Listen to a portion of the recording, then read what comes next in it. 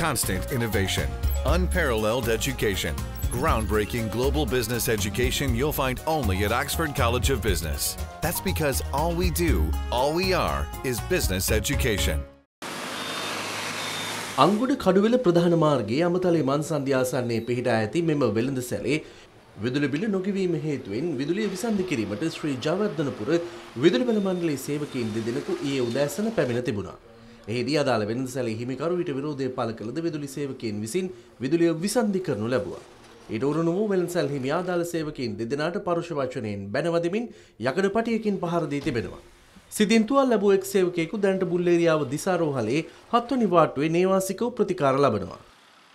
කපන ගියා ඊට පස්සේ ඊට පස්සේ ආව නඩුවට කපලි ඉවරයි කුණාරම ගිහලා බැලලා රබර් අර පටිදී එන්නේ එහි යවුවා මේ මාතකිර පඩිත් එක්ක. ගහලා ගිහලා අපි දෙන්න මේ පැත්තේ හැරෙද්දි ඊට පස්සේ දුවල ගිහලා යකට පටිය අරනවා ඒක අරගෙන තමයි මේ හරියට ගහන්න ගියේ. ඊට පස්සේ මගේ පැත්තේ ඉඳලා එතනින් අල්ලලා තල්ලු කල්ලි වල. යකට පටියෙන් පිටට ගියා.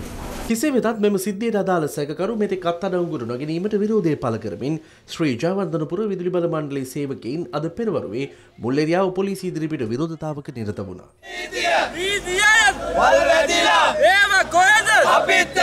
රතුබිලේ අගෙවල තිබෙන මංකව විදුලි විසන්ධි කරන්න වෙනවා කියලා. මායි පස්ස හැරලා එද්දී යකඩ පොල්ලක් අරන්වා මට ගහන්න. මම දෙපාරම යාව ගාන එක වලක්වලා මේ පැත්තට හැරිලා මගේ අනිත් සේවකයට පොළු පාරකව පිටහරා.